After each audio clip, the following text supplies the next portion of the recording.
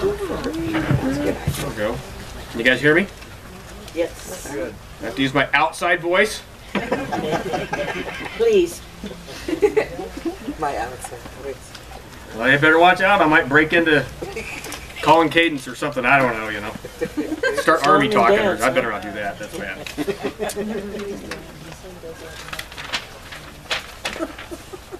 All those words and phrases are still locked away in my brain somewhere. All right. Ah. Well, how are we doing today? Good. We're doing pretty good, hopefully, Yes. or at least at least okay, right? Yep. You have to say fine. I know you're not. Okay. Well, didn't re- I didn't re- I didn't review my notes this morning. I should have because I typed them yesterday and I forgot what I typed already. So. Anybody, has that happened to anybody else? No. Yeah, walk outside and like, I'm gonna admit to what it. did I come out here to do? It takes me five trips to the garage to get what I need to do one thing in the house. You know. So Forget what we're I go out to get a screwdriver and come back with a hammer and it's like, whoops, and everybody. They laugh. I just go sit down. Yeah, you you chuckle now. You wait Yeah. another twenty some years. You'll find out. You'll find out. It takes longer to do everything. Alrighty. Okay. Well, I got a question for you. I like to start with questions, so um, I'm going to ask you a question that might be personal. So I'm not expecting an answer. At least not a verbal answer. I want you to answer inside your head. I'll wait till the car goes by. That's the problem with being outside service right next to the road. It's just traffic noise, right? I think what we should do is one of you should go on each end of the road and block the road off and make people go around. Yes. I agree. I agree. I've got four little traffic cones at the house. They're about that tall. That might help you. Make Okay. people be speed bumps, lay in the middle of the road. Yeah, it'll stand in the middle of the road. You'll probably run over. All right. Question. Is there a difference for us? Is there a difference for you? And is there a difference for me personally between someone saying, I'll pray for you, or perhaps the common social media response of prayers, right? With the little praying hands, right? The little emojis. Is there a difference between that versus someone actually praying with you in the moment? Is there a difference? Mm-hmm. Boy, it sure feels like it, doesn't it? Yes. Right? So, I tried to learn this from a previous pastor mentor of mine. He, I, I never heard him say, I will pray for you. I would hear him say, he would grab people by the hand if, if he was in close proximity to him. Of course, this was pre COVID days. He would grab people by the hand and says, Let's pray about that right now. It didn't matter where he was middle of a restaurant, sidewalk, right? Church parking lot, Bi-Mart if you had a Bi-Mart, right? That's how that's how Pastor Larry uh, taught me, and sometimes I remember to do that. And there is a difference. I think there's a huge difference because a lot of times when we say I'll pray for you, we don't do it. At least I'm that way. I forget. If I don't write it down, I forget. Or if I, you know, respond on Facebook with a couple little the little praying hand thing and say prayers, do I actually remember to sit to stop right there and pray for that person right then and there? Sadly, a lot of times the answer is no for me. However, if I say, "Can I pray with you right now?" I've never had anybody say no. So, yes, there is a difference. Jesus does not say, I'll pray for you. Paul doesn't even say, I'll pray for you. Paul says, I remember you in my prayers. But he never puts it off as a future thing, I'll pray for you. Because when you say, I'll pray for you, well, when is that? When are you going to do that? Yeah, next year? when it suddenly comes back and uh, you suddenly remember, oh, yeah, I was going to pray for that guy six months ago. All right? No. Jesus doesn't say, I'll pray for you. He just does it. We see that, of course, in John chapter 17. And today we're going to look at John chapter 17, verses 20 through 26 as we finish our way through the 17th chapter of John. So if you haven't been here uh, to set the setting for John 17, the, Last Supper has already occurred. Judas Iscariot is all has already uh, scampered off to go make it to seal his deal with the Sanhedrin and deliver Jesus to them for 30 pieces of silver. That's already happened. Jesus has been telling of the 11 remaining disciples that bad things are coming. I'm going to get arrested. I'm going to get executed. You're all going to run away. And then in John chapter 17, he prays for the disciples. He pray, well, start. He first prays for himself. So we get five whole verses. We get one paragraph of prayer where he prays for himself, and really he's praying that God will be glorified through what's going to occur. Then he prays for the 11 remaining disciples, and indirectly for us. But then in the in the end of the chapter, he prays directly for all people who will believe throughout history. So let's uh, turn your Bibles if you got them. If you don't, you should bring a Bible. If you don't have a Bible, but you have a smartphone, you know you can get free Bible apps on your smartphones. Pretty, pretty much any translation you want to pick in any language. So, no excuse for not having a Bible now in the 21st century. John chapter 17, starting at verse 20. I do not pray for these alone. So he's referring back to the 11 remaining, the 11 disciples. Okay. He says, I do not pray for these alone, but also for those who will believe in me through their word, that they all may be one, as you, Father, are in me, and I in you.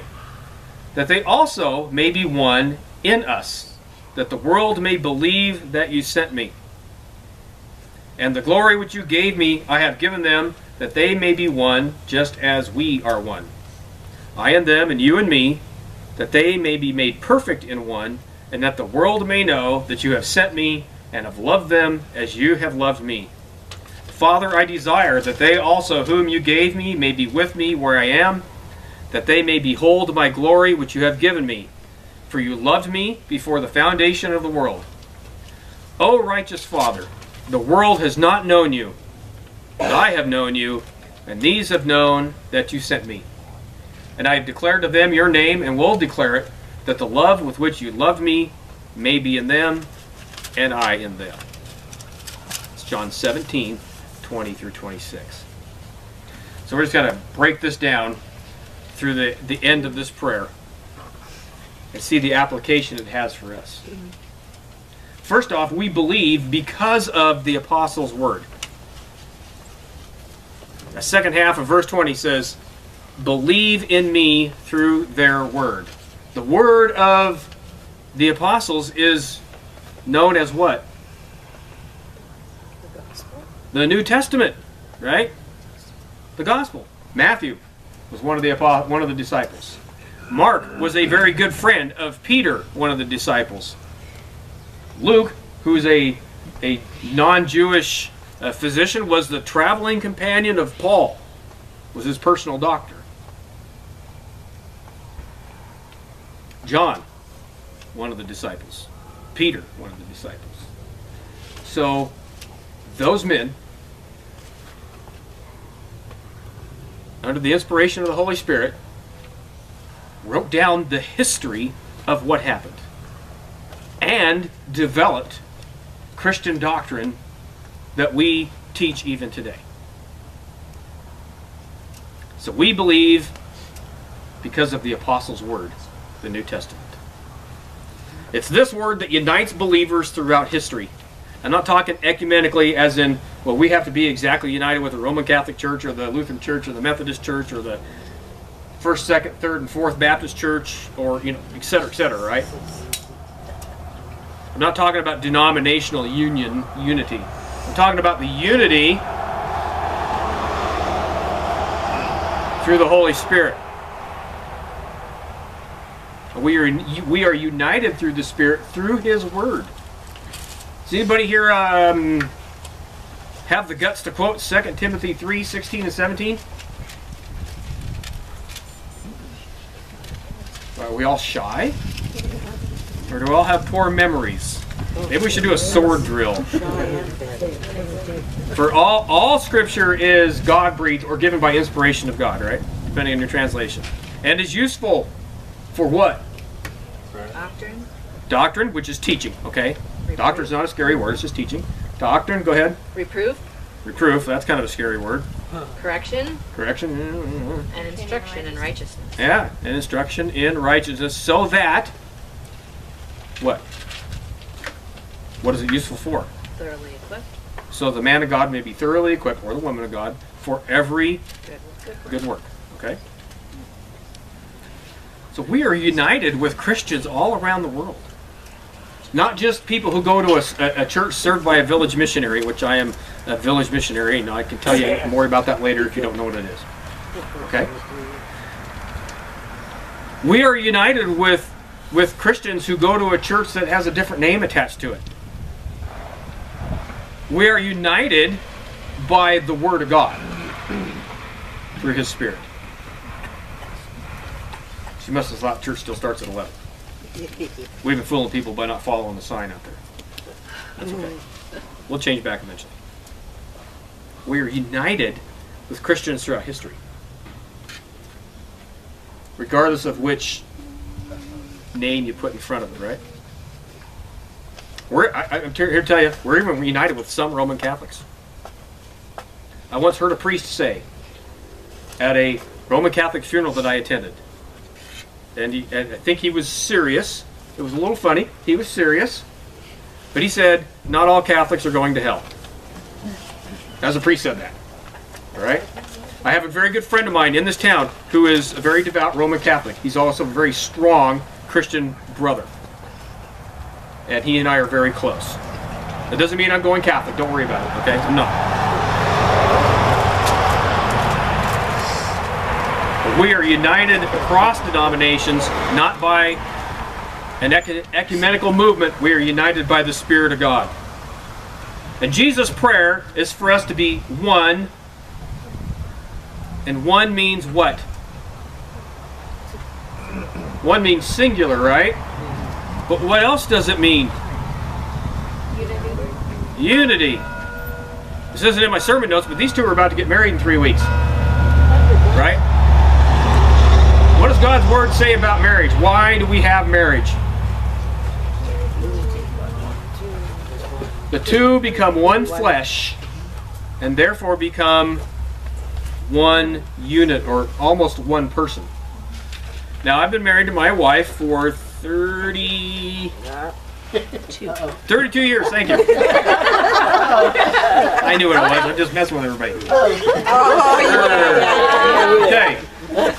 Now, I cannot always read her mind. She can usually read mine. I cannot always read her mind. But we have the ability to complete each each other's sentences. We have the ability to say the exact same thing at the exact same time.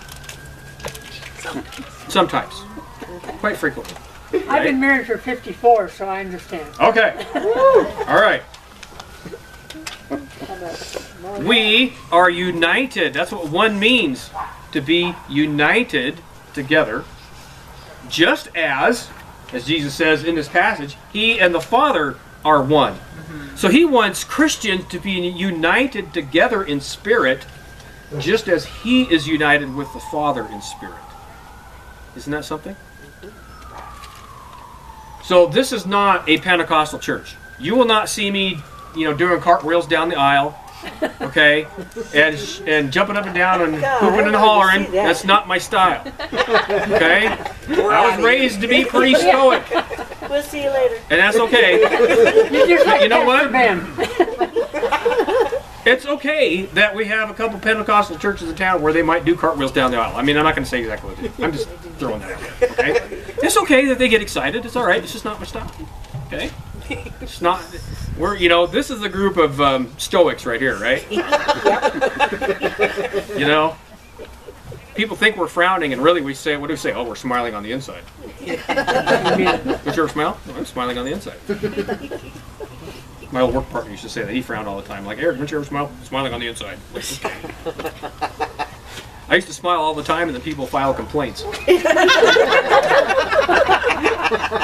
it's a true story. My partner, Eric, never smiled at work, and he never got demeanor complaints. I would smile and laugh with people, and they'd Turn you in. exactly turn you in. I'm not coming here again. Oh, right? So Jesus' prayer is for us to be united in spirit, right? Just as He and the Father are, and Jesus' Spirit, the Holy Spirit, is in us. So we therefore are also united not just with fellow believers, we are united with the Father and the Son and the Holy Spirit spiritually. We are one. At least we're supposed to be. That and God loves us as He loves the Son. And how how does the world recognize the love of God? Where where should they see it? They should see it right here, right? And they should see it in the other churches that the Christian churches that are meeting on Sunday if they can, or on Saturday if they're a Saturday church. The love of God is not something that's just, you know, it's not like it's hanging on a tree to be looked at. We can see the majesty, we can see the power of God in a tree and its creation and how it works. But the love of God is seen in people and through people. That's where it's supposed to be seen. So if you're a Christian, I would hope that a good share of the time when you're outside the house, well, inside the house too, but outside the house, that you put on, you, that you have a genuine smile. All right? Now, there's a difference between a genuine smile and a fake smile. This is a fake smile.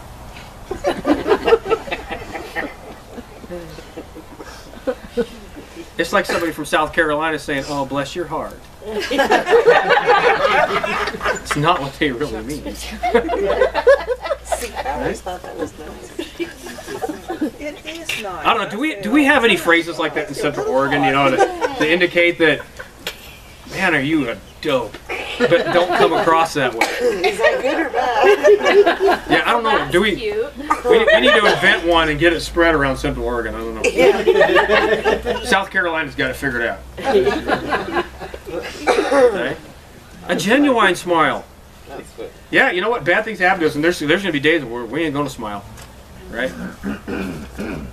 we have tragedy in our community, don't we?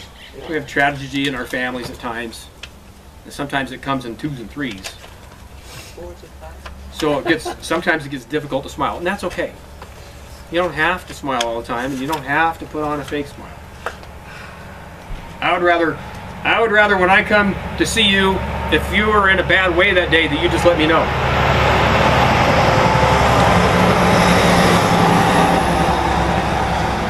It's easier not to step on your toes if we know what you're really feeling emotionally, right? I mean, some of us wear our emotions on our sleeves, and some of us hide them. I think it's healthier for you if you just wear them on your sleeve once in a while. It's okay to be a little vulnerable. All right. But the world is supposed to recognize, let me get back on track now. The world is supposed to recognize Jesus through us. There's two places the world is going to find Jesus. One is in his written word. And there's plenty of people out there that have just picked up a Bible that maybe was in a hotel room or in their hospital room. You can still get those in a hospital room, I don't know. You know, Gideon's Bible, that kind of thing. Plenty of people who have just picked up a Bible, started reading it, and come to believe. But I think there's a whole lot more people that came to believe through a relationship with a believer. The love of Jesus Christ, the world should recognize Jesus in us. Jesus also prays. All right, so first prayer was for us to be one, united with the Father as He is with the Father, united with His Spirit, and that the world would recognize Him through us.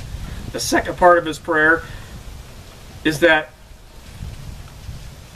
He makes a particular desire known to the Father. The desire is not for Him personally. The desire is not for Him to not go to the cross, right? That desire is for Him to not be you know, whipped and beaten and spit on and all that kind of stuff and made fun of. No. His desire is that we will be in His glorious presence where He is. And that is not here. His desire will be in heaven with him someday. He wants us with him for eternity. Why? Why does he? Okay, well, I heard it over there. Say it loud. Because he loves us. Oh, because he loves us. Remember when he was talking to Nicodemus? Nicodemus the Pharisee, the religious leader who just, even though he had it all in front of him, he had all those, what we call the Old Testament, all the prophecies, all the scriptures, all the Psalms that point, the whole thing from the first words of Genesis point to Jesus. And they didn't see it. Jesus told him he had to be born again. And of course, he's thinking, you know, medical, physical terms, right? How can a man be born again? How can he go back to his mother's womb, right? And then we get to probably the most known uh, memory verse in the Bible. John 3.16. Comes out of that conversation. What is that? For God so loved the world that it is only begotten Son should not perish but have eternal life. Okay, we just said that like five different translations.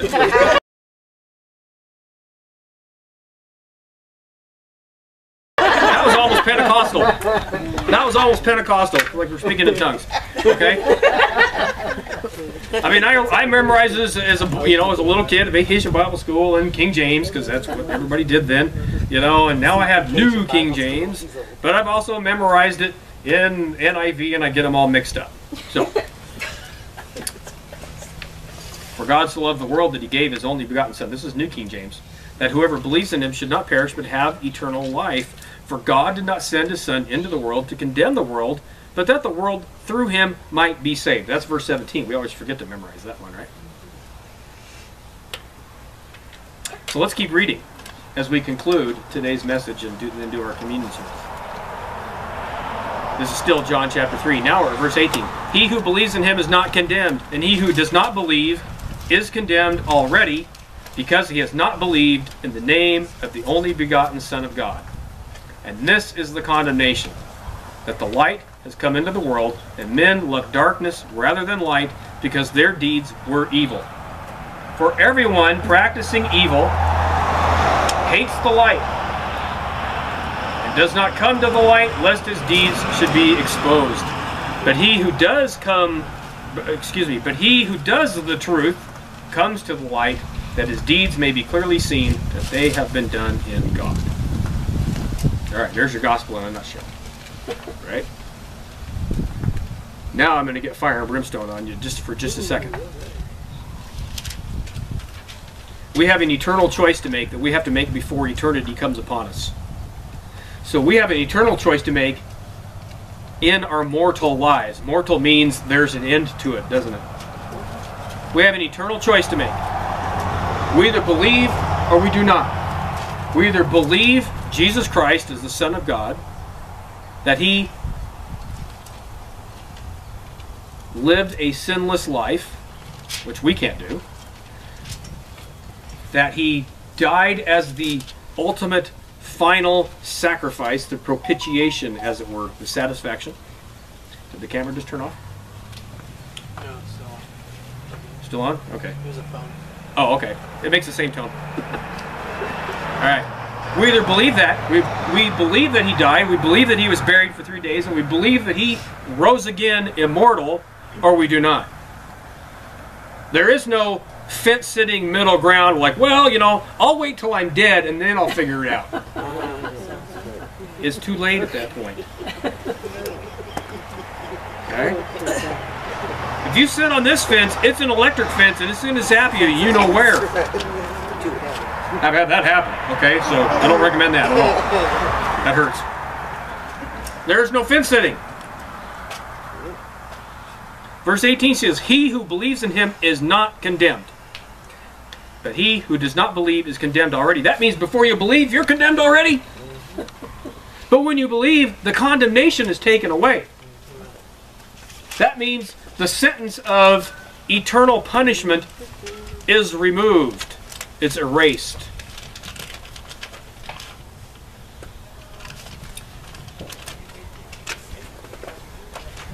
And this is the condemnation, verse 19, that the light, Jesus Christ is the light. He calls himself the light of the world, right?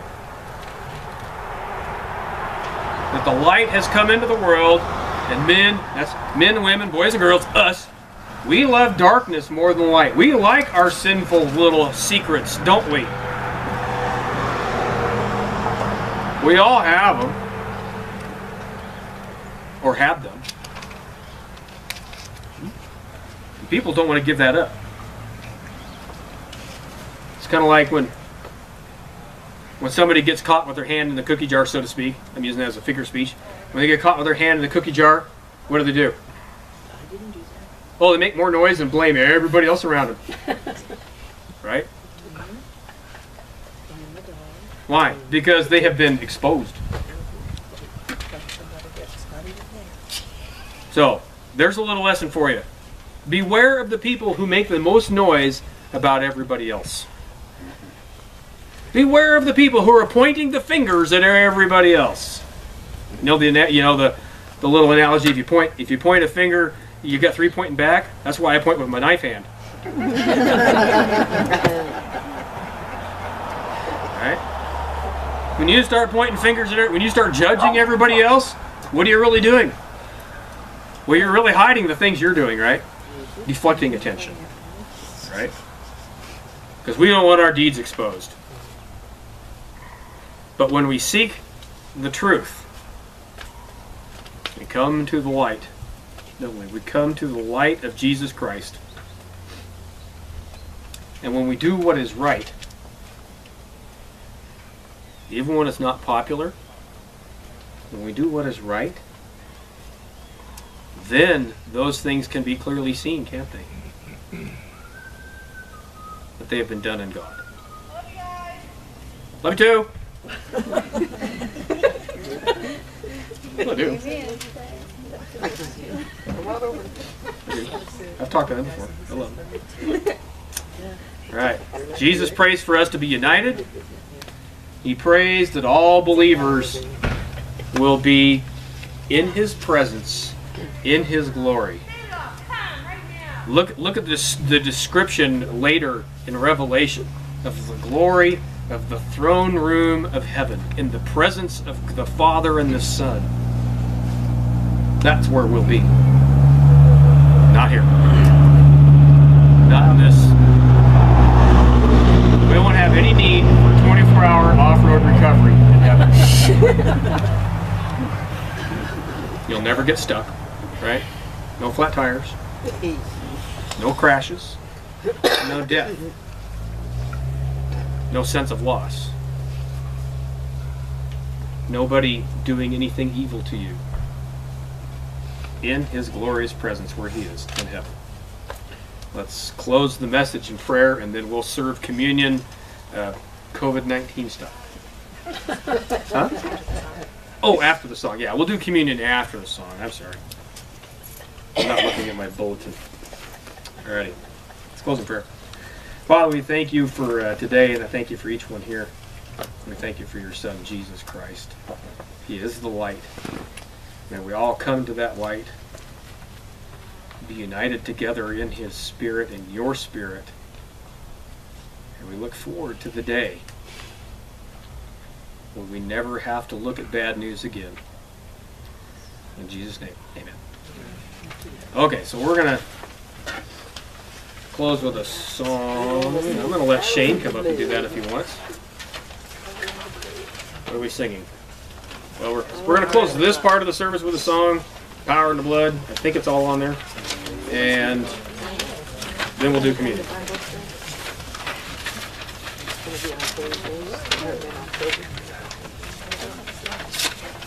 Now I got to step back for you because Stand if you like. I'm spinning. I won't hack a boob on you. We won't force you.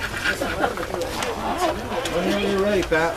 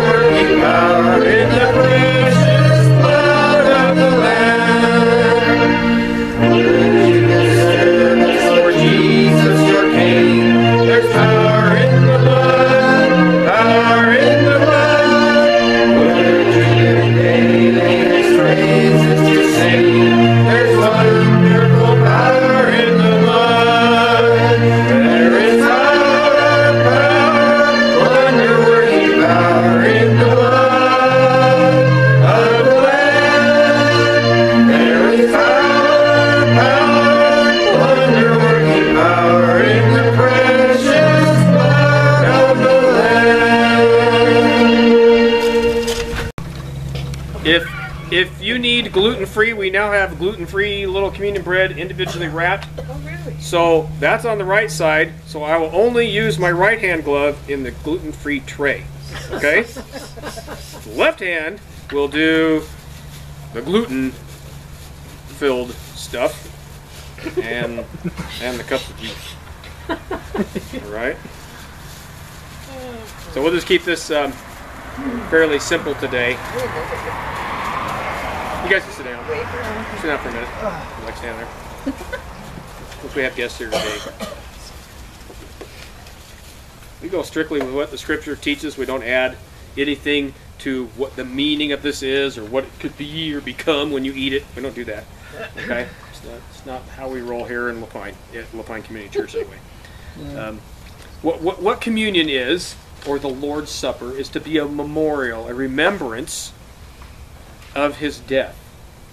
So the little piece of bread is to be representative of the physical body, the human body of Jesus Christ. And the cup of juice, we use grape juice here just to be safe, is to, is a memorial, a remembrance of the blood that poured out of his body through his torture and his execution. Okay? And of course it goes back to the the meal of the Passover, which goes clear back to the Israelites in Egypt with Moses.